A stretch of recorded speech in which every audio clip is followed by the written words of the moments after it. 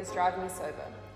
This can be used as a fun and catchy hashtag that can be posted on social media and on the Smirnoff's page. Our main execution that we decided on is an app. The app is a way for friends to track each other on who's been the designated driver and who hasn't. Whenever you are the designated driver, you get one step closer in getting rewards such as Mr. D or McDonald's vouchers. Our second execution that we created are unique bands that people will get when they enter a club within our campaign days.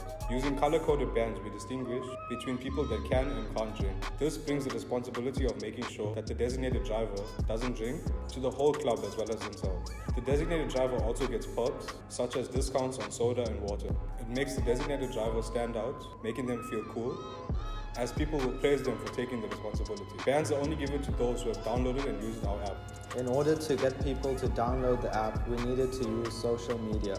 We used social media to promote the app and celebrate the designated driver. The social media aspect will consist of Instagram posts posted on Smirnoff's main page during the campaign duration. We also created Instagram filters which celebrate the designated drivers as the legend of the night as well as created geo filters for the club events, which will spread awareness of the campaign. We have also decided to indicate reserved parking for designated drivers. We have designed an interactive hologram which reacts to the color of the bracelet you're wearing, resulting in either a celebration or cheering for your designated driver. We have also designed coasters that help support and raise awareness for the campaign. Together, We hope to make designated driver Legends of the night so they can drive us sober.